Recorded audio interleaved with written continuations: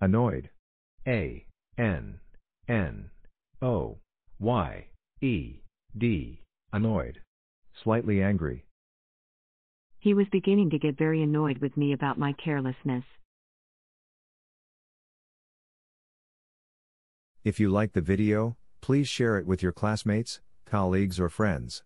Also, please thumbs up to the video and subscribe to this channel, for upcoming videos. Thank you.